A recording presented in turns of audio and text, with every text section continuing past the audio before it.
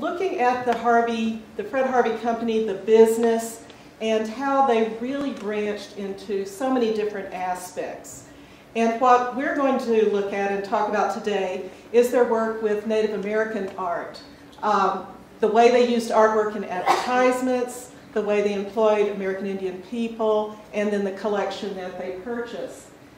So one of the wonderful pieces that we have in the Heard collection is the Harvey Girl by Leo Poblano. It's silver and it's inlaid with, uh, with shell, different kinds of shell, and with jet. And um, just a, a, nice example of a Harvey girl from a particular time period. It looks like the Judy Garland uh, Harvey girl from the 1940s. Bracelet or ring? This is actually, has a little stand behind it. it. You can sort of see it in the background. It's like a little, little uh, picture, in fact, uh, just inlaid.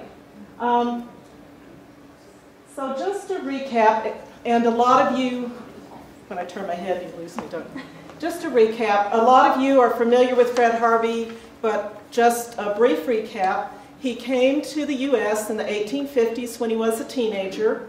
He was in New York and he worked in restaurants as a busboy and a dishwasher, moved to St. Louis, and then moved to Kansas City. And that's where he really established his relationship with the Santa Fe Railway. And he began by having um, a restaurant at one of the depots, and then later had the food service on the trains. Now, we all hear of how horrible the food was before Fred Harvey. And you can see from this train photo in the 1890s what a lovely experience that would have been to dine on, in one of the railroad cars and have linens and china and in such a beautiful setting. Um, the trains, uh, the train, the Santa Fe Railway um, went from Chicago to Los Angeles in, uh, in the late 1800s. This photo is actually from the 1920s and it's in Los Angeles. But the trains had a big impact in many ways. Of course, uh, moving goods a, at a more quicker uh, rate than before, all different kinds of goods, moving people, and uh, eventually moving people for leisure travel as well as for business. And it also, they also had an impact on, uh, on Native peoples. This is a timetable from 1876, and it just gives you a glimpse of um, some of the, the brochures that were produced at that time. But Native peoples, the impact was more dramatic. Uh, this photo was taken about 1900 by F.H. Maude, and uh, the three potters here are all from Acoma Pueblo. You can see that the pottery that they brought to sale is really very beautifully decorated. It's of a traditional shape. It could be functional. Um, they have some of the water jars on their heads. The bottoms were indented. And so some of the first things that Native people sold to visitors on the trains were these beautiful functional items. Now this will change um, in a short period of time. Also, um, Navajo weavers responded to what they were seeing to the railroads. The Germantown textile on the right, those are commercial yarns.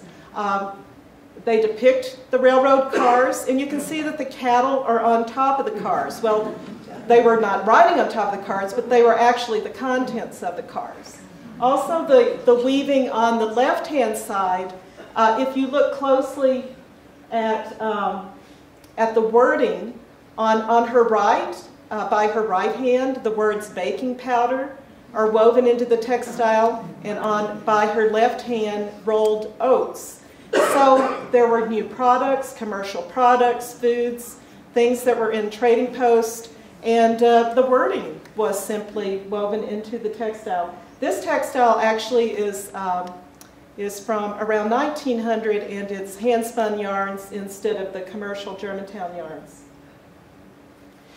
So Fred Harvey doesn't have a lengthy, um, kind of a lengthy stay in the story that we're telling today. He actually died in 1901 and the business transferred to his son Ford Harvey who's seen here in the lower right.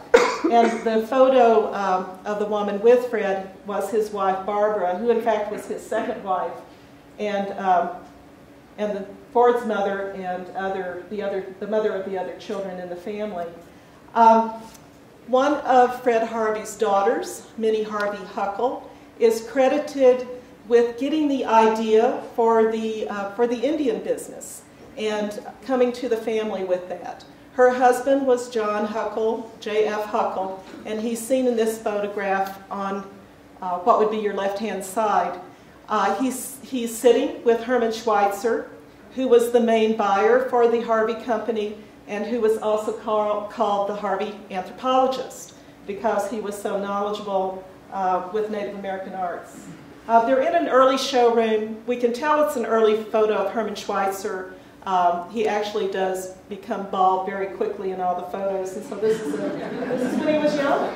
And so it's probably around 1900. And there are interesting things in this photo. There's, there's lace, there are uh, Navajo textiles, there's a Northwest Coast mask on the, I can do this, there's a Northwest Coast mask right here, all these baskets, and just a lot of different materials. But in 1902, in Albuquerque, all of you know this, um, the Alvarado was built, and it was really the main showroom and storeroom for the, uh, for the Native American art. This photo was taken around 1907, and it's a man with pottery from Santo Domingo Pueblo in front of the Alvarado. Now, if you visit the, um, the railroad there today and the building that has built in the place of the building that was once there, um, you really get an idea of the proximity of the hotel and restaurant and the Indian art building to the railroad tracks. I mean, it was just right there. You could get off the train. You could go into um, you could go into the um, the Harvey showroom. Uh, you could go into the restaurant, and have a quick meal, and uh, and if you go to La Posada in uh, Winslow, you can see that same experience today. When they opened, and actually before they opened the Alvarado, the Harvey Company um, hired Mary Jane Colter to decorate the showroom. And again, Minnie Harvey Huckel is credited with, um, with that association. Mary Jane Colter had studied art in California, and when she was in California, she also apprenticed with an architect. And so she had also had a background in architecture. Um, she lived in uh, Minneapolis, and she, after her studies in California, she moved back to Minnesota and she taught mechanical drawing, what was then called mechanical drawing at a high school. So in 1902, she decorated the first Harvey Company interior. Now, the, the showroom was really quite um, marvelous and it was quite clever on many levels. As a visitor, you would walk into this fabulous showroom you would get an idea of how you could go home and decorate a corner of your house or a cabin, or if you were Louis Comfort Tiffany, an entire room with American Indian art, just from seeing these examples. And then you pass through an area where there were artist demonstrators, and then you ended up in a shop. It's the model that museums use today and have used for some time. So the really fun thing when we start looking back at some of the photographs, and the Harvey Company and the Santa Fe Railway were so prolific with postcards and books and uh, photos and paintings that they sold just to entice people to travel west. We get a sense of how the photos were staged. The, um, the, this beautiful jar, the Santo Domingo jar, which fortunately for us is in the Heard Museum collection, you can see here in the photo of this postcard from the early 1900s. And they just wanted, they liked it so much, they put it in another setting in a different postcard. And they published a lot of these postcards. We'll see one of the newsstands in a minute to give you an idea of how that looked. So I did mention um, artist demonstrators. This was something um, that was very prevalent at the World's Fairs, um, beginning as early as 1893 at many of the World's Fairs. And again, we think that this was a model that the Harvey Company used when they developed the Alvarado. Um, these three women were um, weaving Apache baskets. They, we know that they were at the Alvarado in 1903 because there was a lot of publicity. And if you go back through the Albuquerque newspapers, uh, the Harvey Company was very good at getting publicity um, and having uh, accounts of people who were coming to do artist demonstrations. Unfortunately, they don't mention the names of these weavers, and uh, so that information is still lost today. The basket is just one of those beautiful examples of an Apache basket that's in the Heard Museum collection. So in 1904, um, well, the Harvey Company had a lot of um, a lot of associations with other anthropologists and collectors of the day. For a period of time, the curator from the Field Museum worked for the Harvey Company, uh, worked in the private sector from 1903 to 1904, uh, George Dorsey. And uh, Dr. Dorsey connected the Harvey Company with other people who were collecting and building collections. And one was John Hudson, who was a medical doctor who lived in Northern California near Ukiah. His mother-in-law, Helen Carpenter, collected pomo baskets. And his wife was a painter, and the two of them collected baskets as well. Through Hudson, it was possible for the Harvey Company to arrange to have William and Mary Benson demonstrate weaving and the making of other cultural crafts on their way to the Louisiana Purchase Exposition in St. Louis in 1904. And you can see them here in this photo. This basket is attributed to Mary Benson because of its design as well as the basketry start. It was not finished. It's very large. It's like, you know, this big. Um, it was never finished, and it shows up in these early photos. Here it is. And it's hiding here by the fern. Um, just one of those wonderful examples, and there are some things that have also been associated with William Benson that are now in the, in the museum collection. And the collection totals about 4,500 objects. It was donated to the Heard uh, in 1978 and has been uh, one that we utilize um, repeatedly uh, in exhibits. So the photo in the upper left is a photograph of John Hudson's baskets that he collected, as well as uh, his mother-in-law, Helen Carpenter. These came to the Alvarado, and uh, Dorsey, who was, uh, George Dorsey was working both for the Field and the Fred Harvey Company, made a selection for the Field Museum as well. And the Harvey Company kept and sold some, and they retained quite a few in the collection. So this basket is here in the photo, and it also has been attributed to Mary Benson by the weave and by the basketry start.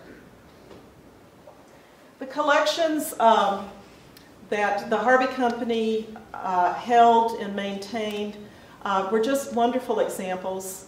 Um, some of them were purchased uh, from private collectors, some from middlemen who were buying and selling, and some from the artists themselves.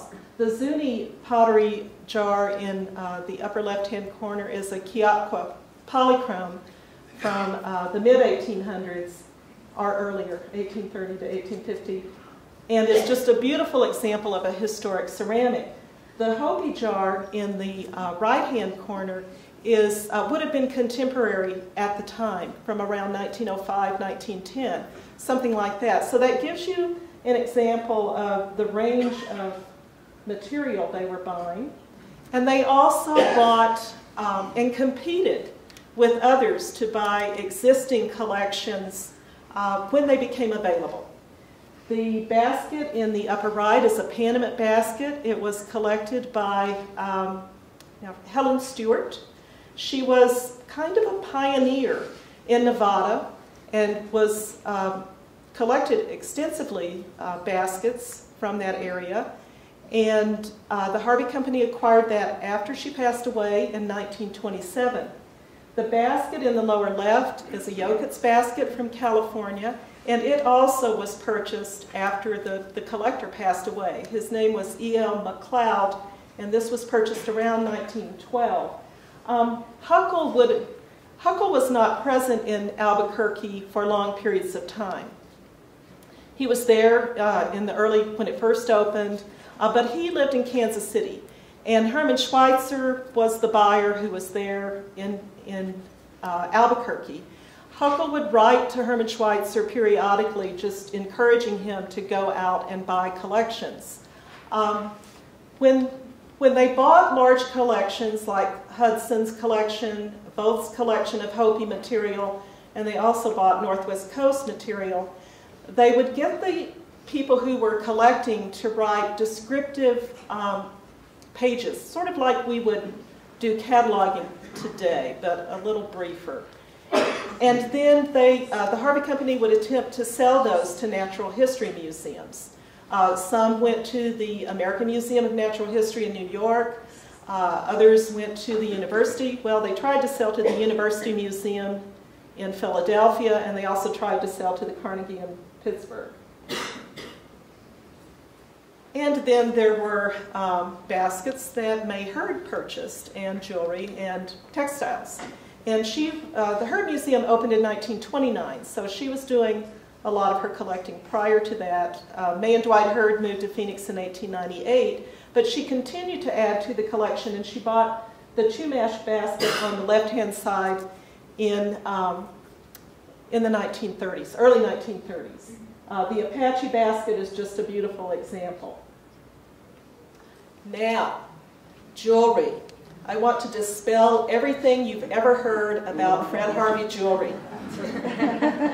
the, the Harvey Company collection has about a thousand pieces of beautiful silverwork with incredible turquoise, handmade, and just beautifully done. Now, the, the businesses also sold machine-made tourist jewelry with arrows and with uh, symbols and dogs and things like that. It's not really what we see in, in the permanent collection. This bracelet is by Fred Peshlikai. All of those little silver drops were made by heating silver and getting it to go into a little ball and then appliquing it, uh, applique wire, and the stones are just beautifully matched. So in some, to some extent, and, and to a great extent, because when um, Herman Schweitzer was interviewed by John Adair in, in the 1940s, uh, he indicated that the Harvey Company in 1899 asked for lighter weight jewelry. Well, this was true, but it didn't necessarily convert to machine-made jewelry. So the, the jewelry that was sold uh, and made, uh, a lot of it was just beautifully done like this, handmade. And the Harvey Company also had a silversmith, usually at the Alvarado and usually at the Grand Canyon to demonstrate making the making of um, silverwork. Um, this is a photograph in front of the Alvarado. Um, don't remember the date right now, early 1900s. But I put this in because of the sign that was above the entrance of the Zuni knife-wing bird just to give you an idea of how the Harvey Company uh, utilized American Indian designs in the publications that they did. And I just had to put in that beautiful um, inlaid box at the same time. But um, as I mentioned, they were prolific in literature. Sometimes it was the same writing in every uh, publication, but the, brochure, the cover might look different each time. Um, also, um, Herman Schweitzer traveled to Abo and, um, and saw a design of a thunderbird uh, painted there on the walls. And they, uh, Harvey Company copyrighted this design in 1909. They used it on their letterhead, and they had um, brooches made, uh, like the one on the left-hand side. And you can see the funny thing about this uh, is the way the silversmith looked at this, but they did their own concept. With the instead of the squares in the in the wings, they added a smaller image of the bird, and they've got a, you know kind of a step design there. And the Santa Fe Railway, because of that close partnership with the Harvey Company, used the design as well. So as early as 1903, um, actually the first uh, Santa Fe Railway uh, individual to be involved with advertising was C.A. Higgins. And as early as 1892, the Santa Fe was writing booklets about the Grand Canyon and promoting travel to the Grand Canyon. The train didn't go there at that time, but they also, the Santa Fe sponsored uh, wagon train trips to the canyon. You could go for seven, several days from Williams. Um, this is a very interesting example of some of their literature. Uh, Higgins passed away in 1900, and then uh, William Simpson took over advertising for the Santa Fe, and you start to see more incorporation of American Indian imagery in their, um, in their brochures. So essentially what they've done here is they have a photo or, or an image, a drawing of a Pueblo man, and they've taken a traditional um, textile and incorporated that design into their brochure. Um, and they've used a lot of images of, of women and children uh, and encouraging travel um, to the Southwest and all the way to California. Really the idea was to get you on the train and take you as far as you could toward California. There were a lot of photographs taken, and you can see how the pottery has changed now. The, the pottery is much smaller. It's made for sale. It's very portable. And the interesting thing about this photograph is um, there are a lot of postcards that were published. So in this postcard, here are two conductors. Um, well, someone wanted more native potters, so they just painted in the images of those two little girls here. And also the potters are all approaching the train, so they have them facing out to make the postcard a little more interesting. Um, Carl Moon took a lot of photographs of native peoples. This is Marie Chiwiwi, um, who lived in Isleta. Her parents were actually born at Laguna. Uh, Dwight Lanmon has done some research uh, regarding her family. Uh, another photo, a hand-tinted photo, and these things were sold as mementos. And here she is with um, pottery she was making. She actually had a shop in later years, and her, her name is above her shop. But you could get a, um, a postcard that showed the Harvey Company and all the hotels, and you could mark your route with a little, uh, a little mark uh, in these spots, and you could show which ones you visited. Um, again, booklets often uh, used, uh, talked about Native peoples of the Southwest used images of people of the Southwest. Postcards did the same, all encouraging travel to the West. And this is one of many um, photos of the newsstands that were taken. It appears that they took a lot of these photos all at the same time because this, this, these women um, somehow playing leapfrog and smoking cigarettes was an activity that was occurring. But this, this appears in, uh, there are just several, I don't know, almost 20 different images. And uh, the cigarettes were sold, cigars, but you can see here um, jewelry was sold in this one as well. And in this image of a stand, the, the book uh, which was the third version of um, this publication, can be seen here on the newsstand and here, along with the magazines and, of course, the Lucky Strikes uh, cigarette sign. And this gives you an idea. Um, these books, um, First Families, um, all had the same contents but they would republish them with a, a different um, a different cover. And the Great Southwest they they published several uh, several times as well. Uh, George Dorsey wrote the book Indians of the Southwest. He starts out talking about Plains Indians. It was a topic he knew, an area he researched. Not really sure how it fits with Indians of the Southwest, but um, he knew it, and that's what he did. And um, the Titan of Chasms was one that was written by, um, I think the text was written by Higgins and just reprinted again and again with different covers. The Harvey Company knew how to create an attraction. All these people sitting at the Alvarado. This was in 1926 when the child uh, actor Jackie Coogan came to town. And they, they did a, a, kind of a ceremony with some Navajo medicine men, and he was to become a, an honorary uh, uh, child something. But um, it, just the, the number of people that they could get to show up at an event, they, they definitely knew how to do that. So in 190, I think it was early 1906, the El Tovar opened at the Grand Canyon. This is a later photo because the touring cars are there. Uh, and in, oh, oh um, the Santa Fe and the Harvey Company did not exclusively use American Indian imagery. Um, the Santa Fe offered free passage to um, artists who would travel on the train, stay at the Harvey facilities, and uh, then the Santa Fe would get paintings so this painting by Louis Akin, which was used on the, the front and back cover of this book, The Grand Canyon, also used on uh, matchboxes. This was in the uh, corporate collection of the Santa Fe Railway.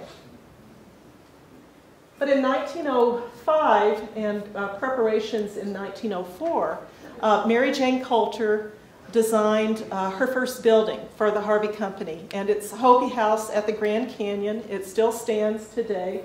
This is a, a postcard rendition of that. Um, and Colter went on to design the buildings at Phantom Ranch, Hermit's Rest, the Lookout, the Watchtower, Bright Angel Lodge. There were, there were many other um, endeavors after that uh, in which she was engaged. But you can see their brochure for El Tovar. They have photos of not the building, but um, Hopi uh, women with pottery. When they opened in 1905 and again in 1907, they uh, brought the uh, Hopi potter, Hopi Tewa potter Nampeo to demonstrate pottery making at Hopi House. And she and her family lived there. Her daughter Annie was also a potter, and her sons and her husband were there. Annie's children were there. Um, and this was remarkable for several reasons. Um, Nampeo was probably the first native artist known by name. She was photographed as early as the 1860s, and her pottery was widely collected, and it was greatly appreciated because uh, it revived a shape from um, and uh, designs that were inspired by Sikyatki polychromes. The shape is very difficult to do. The jar flares dramatically from the base and it comes back in, and any of you who have tried pottery making know how hard this is to do. Uh, the designs were just beautifully, beautifully painted. And the Harvey Company made little tags with her name on it, um, made by Nampeo Hopi. This was uh, really unheard of at this time for native artists to receive that kind of recognition. Here's a photo of her. They turned it into a postcard. Um, the pottery at the top gives you an idea of her very fine, um, fine line painting. And the jar below it, what, or the bowl, I'm sorry, was collected by Mary Jane Colter in 1904 um, and is now in the collections of uh, Mesa Verde National Park. Now, if you, um, oh, you don't have to do that. Um, there it is on a menu.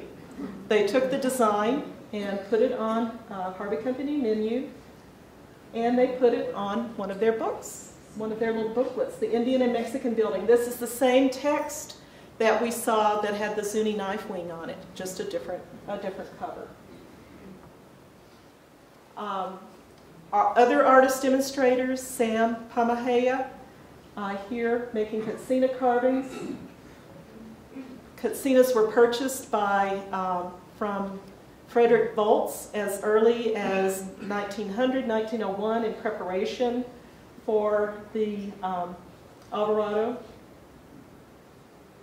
And then in, in 1930s, um, they wanted to do a postcard of a silversmith at the Grand Canyon Uh, there was a Navajo silversmith who worked there at times, but he was not available the day of the photography. So Paul Saufkie, um, a Hopi silversmith, uh, is he pictured here in this photograph, and you can see this beautiful third phase Navajo textile in the back and, and um, this piece in the back. So they staged a photo for, um, for our postcard, and there was a bit of correspondence about, well, we can't call him a Navajo silversmith. So, um, because in fact he was Hopi, but they did debate uh, how they were going to title the postcard. And since he was there, they went ahead and they photographed him with a Navajo textile. so and then I, the, the Grand Canyon, of course, has been a, a natural draw for visitors for, uh, for decades. Um, Einstein was there in 1931, looking a little sheepish. Um, in, in the center here is Porter Temiche. He worked for the Harvey Company in their gift shop. He worked there for about 50 years. He retired from the Harvey Company. And um, Taft was at the canyon in 1909. So there were a lot of people who, who visited the canyon. In 1915, um, the World's Fair was going to be in California, and two cities were competing for the fair, San Francisco and San Diego and San, San Francisco won the option. Well, San Diego decided they would have a World's Fair anyway. and so there were two fairs. And the Santa Fe, there's an ad that, um, that uh, promised two fairs for one fair. Uh, the Santa Fe Railway put a lot of money in both of these events. Uh, the Grand Canyon, and these are the two brochures that were published.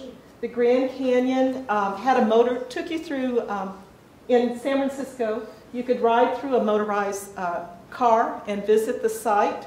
Um, it is thought that that was uh, influential on a Disneyland ride later. Um, and in San Diego, on what is now the parking lot of the San Diego Zoo, um, several people from New Mexico, including Julian Martinez, who's seen here, um, made adobe bricks on site and built a multi-story dwelling. And they lived there for several months and demonstrated pottery and dances. This is Maria, and this is her sister Anna, and this is Adam and perhaps Popovi. Um, and they made, made pottery. Now this was before Maria was known, Maria and Julian had developed the black on black pottery style. So they had not established a, a name that the Harvey Company uh, could use in any literature. So essentially they were there um, unknown. And uh, you can see this postcard. This was, I'm sorry, this photograph was uh, used in a lot of the Harvey Company booklets. And Maria was not mentioned by name. She's got a beautiful polychrome jar there and one uh, that's in the Heard collection today. And of course, this was the pottery that they, um, that they went on to develop around 1918. And uh, then later, Maria's photo was taken by the Harvey Company. And here's Julian there. So, um, oh, and Mary Jane Colter was very involved with the design of the, um, of the multi-story building in San Diego. So in 1931, she and Herman Schweizer, here's Mary Jane in the middle, um, traveled to Mesa Verde National Park, to Cedar Tree Tower, and uh, in preparation to build the watchtower at the Grand Canyon. It opened in 1933 and Fred Kabotie, a young Fred Kabotie, um, painted murals inside the watchtower. They are still there today. That's a, the color photo is a contemporary photo. Uh, he's seen here with one of the Harvey family members. And this is a, a beautiful page um, he decorated for the, the uh, park superintendent's guest book. Um, just a, a beautiful example of his painting in 1932. He also um, designed, they used his paintings for um, playing cards. There are two sets of decks of playing cards. There were other um, other photos, other images and playing cards.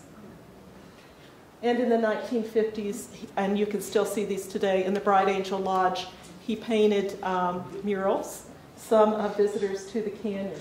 He, he first uh, worked for the Harvey Company at the Grand Canyon around the 1920s. Uh, he did teles telescope tours, and later he managed, um, managed uh, a shop there for a few years. So La Fonda. Oh, we love La Fonda. Um, the Harvey Company detours actually started, they were for a short period of time, but they have such a reputation. Uh, from around 1926 when um, the Harvey Company uh, acquired La Fonda, and of course Mary Jane Colter decorated and designed the interior. Um, these are some of the women on the Indian detours. Um, I just love their jewelry. And I thought, well, what fun. Um, here's, whoops, let me go back. And on their hat is this um, symbol, sort of a, another bird symbol used here on the publications. And this is some of the, the jewelry in the Harvey Company collection. Um, so the detours went to surrounding pueblos. Um, here you can see the cars here. And the pottery that was made for sale is visible in this photo. But I think this photo tells you the most about what this could have been like for the Indian detours to go to the surrounding villages. And they, they also went to Chimayo and um, some of the other sites. But just the impact that this could have had on a community. Uh, both good and bad. Um, good in the sense of, of uh, people who are interested in buying, bad in the sense of uh, just the invasive way that it might have felt. Um, and they designed the trains. They looked for inspiration uh, to Navajo textiles, you can see. And uh, there are uh, images here based on, um, also based on Navajo culture. This is interesting because here's a big mural of um, artists working on the train as well as the, the textiles, and they were food stylists. I mean, do you believe it? They did everything. Um, this plate and the dishes are, um, are called a Mimbreño pattern. They were designed by Mary Jane Colter in 1939. It's a little difficult to see, but here's a lot of them do have designs of um, animals on them. I just like this picture because I thought the food looked good. and then um, we, this is the last slide that, I guess, the last part of the PowerPoint, uh, with this beautiful brochure from La Fonda, which on, is on exhibit here. And the, um, the brochure draws from Pueblo cloud designs and, and imagery, and again speaks to um, just the way the Harvey Company utilize that imagery to promote travel in partnership with the Santa Fe to the southwest, all the way to California. And I thank you for your attention and would be open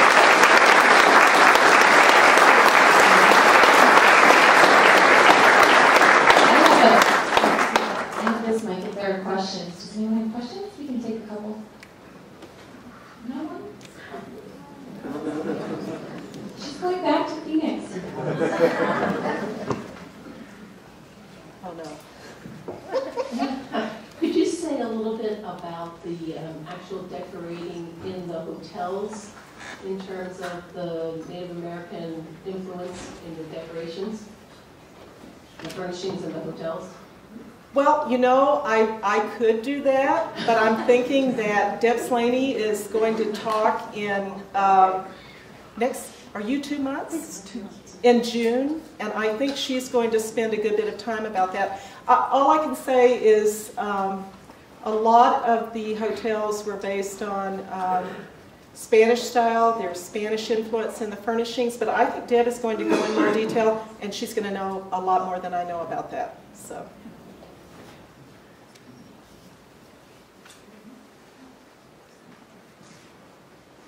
I've always been really interested about um, the Harvey locations in national parks. And I'm curious to know how they presumably received permission to build commercial developments on what is essentially government land in national parks. Well, I wish I knew the answer. Um, It's, they had the concession. I don't know of the specific arrangements. That's a great question. Who owns the El Tovar? I've been there many times, Well. The El Tovar is owned by, now by, um, Now it's owned by Xanterra. So the company was sold in 1968 to AmFac, which then became Xanterra. So it's owned by Xanterra. It was. mhm. but there are other buildings. uh, You know, there's Kolb Studio at the Grand Canyon. So there are other buildings. Well, and the Grand Canyon was not a national park until somehow in Well, that's true. 1919. It was 1919 when it became a national park. And so that they had already built El Tovar. Oh, they'd already built But they El hadn't, Tovar because that opened in 1905. But they So hadn't built the Bright Angel or the Watchtower. or They some other hadn't things, yet so. built those. Yeah. Yeah, that's a great question. I wish I knew. I'm gonna come over to you. Oh,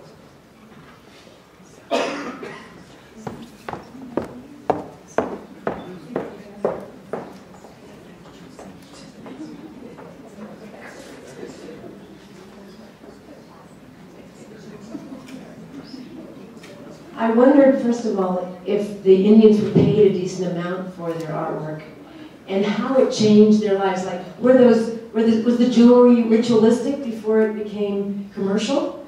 And, um, you know, were, was there, lot- were there parts of the tribe that were really against having to make things for commercial reasons? Okay, so there, there are a couple of questions there. Um,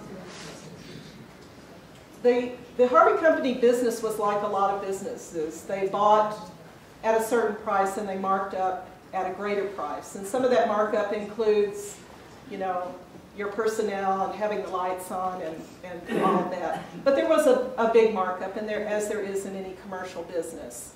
Um, They were, from what I can tell, not a lot of, uh, no, they were not paid a lot, and the markup was quite a bit. Uh, There, there have been some publications about that specifically, about textiles and weavers that have been written where uh, the scholar tried to look at just that uh, specific. In terms of jewelry being ritualistic, um, some of it has an important part in ceremonies, some of it is, is made for personal adornment. So, um, and in terms of uh, issues, I think there are, there were um, things within communities that needed to be private and things that could be shared. So I don't know if the Harvey Company was fully aware of which things should remain private and which things should be shared. We hope they were, I guess.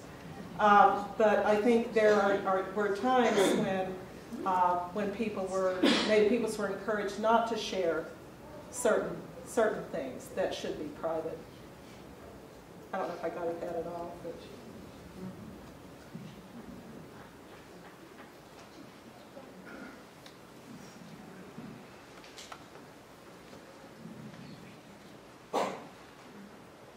Uh, Did all of the um, Harvey hotels have the native tours?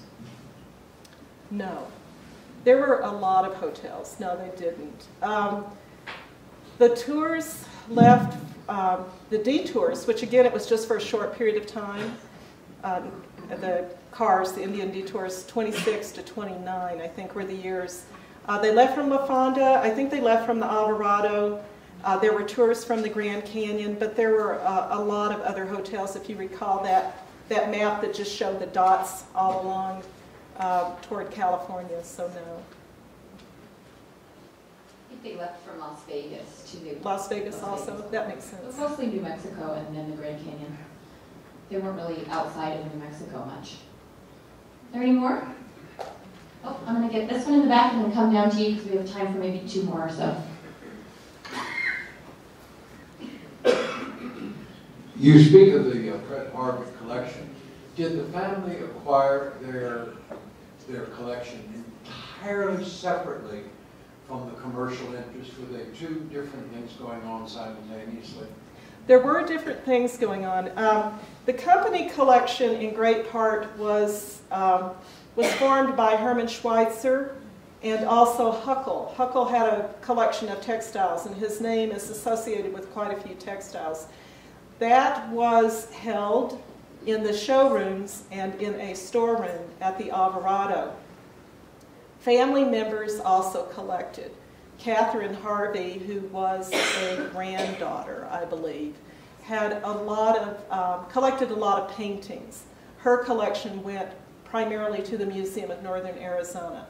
Byron Harvey III, who was a great grandson. Catherine's the daughter. Excuse me? Catherine's the daughter, is a daughter of Or are you one more generation? No, one more generation. Granddaughter. Yeah. So Byron the third would be the great grandson. Great, right.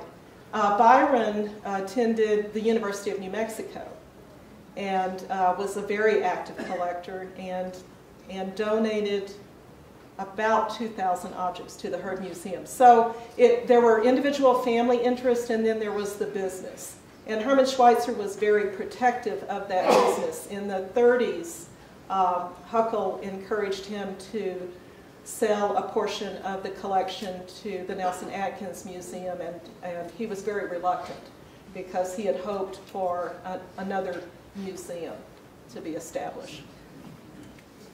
That's some of my favorite correspondence, is that exact correspondence. It's, Schweizer is like, I don't want to, I don't want to, I don't want to. uh, I think there were two down here. Okay.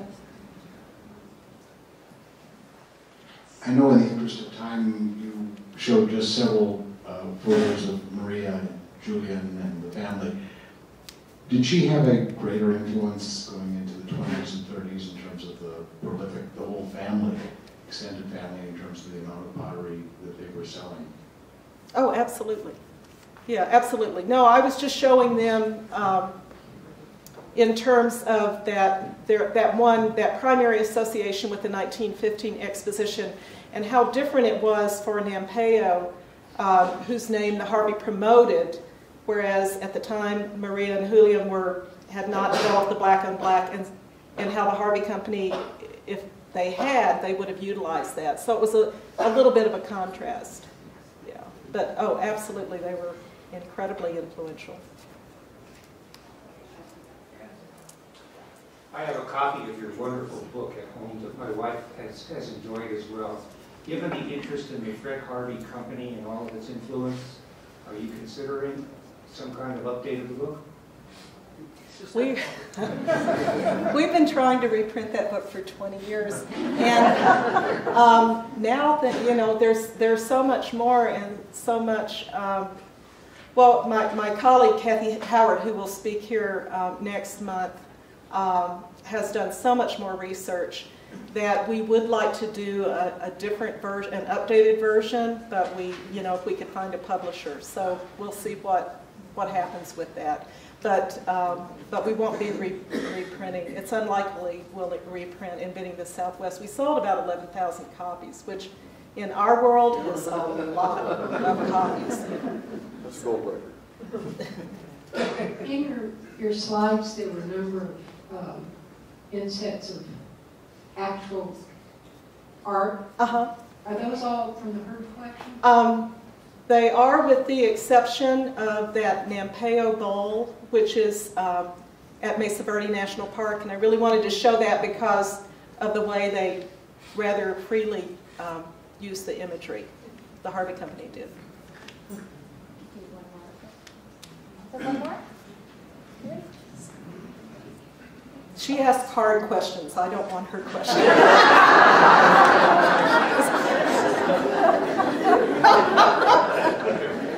I apologize.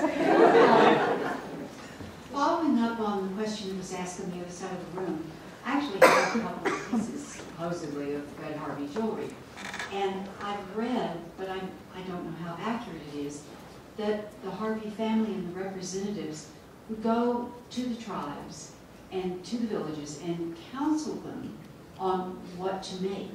That, that so much of what was sold was really uh, almost a collaborative thing. So they wouldn't have been so much ceremonial as they would have been commercial. I know where that comes from. Um, actually, uh, it was Herman Schweizer working with Hubbell, and, Her- and Schweizer ordered quite a bit of jewelry through Hubbell and would ask for specific things colors of textiles, send me more snake bracelets, uh, you know, it- this kind of design, not that kind of design. So, more specifically, it was um, a business that was looking at the way things sold and then um, and then trying to get more of those things that sold that way. Um, and there was something else uh, about your question, but now I've forgotten what I was going to say. so-. Okay. Well, can you help me thank